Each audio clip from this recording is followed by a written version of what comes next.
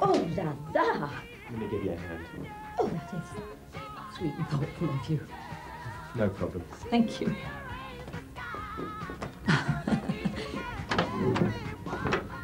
no breath freshener needed there. Justin Bradley. Mark Frankel. Something big in the city, if you know what I mean. Well, let's just see if he's worth taking home. Just cleaning. La la la la la. Mm-hmm. So we're gonna know by tomorrow.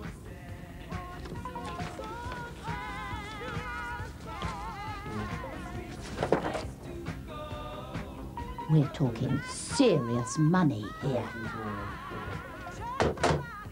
Can I help you? Oh, just dusting your briefcase. Gosh, papers get so dusty in these rooms.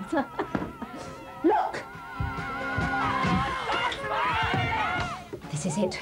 My big break. Behind these doors is Roger Michael, club promoter to the stars. Can he live much longer without me? Not a sign of people who want people. when Yes, thank you. I've seen enough. Can I ask you to leave?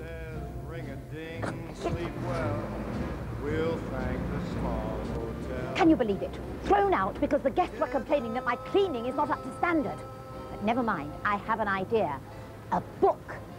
Confessions of a chambermaid. Taxi.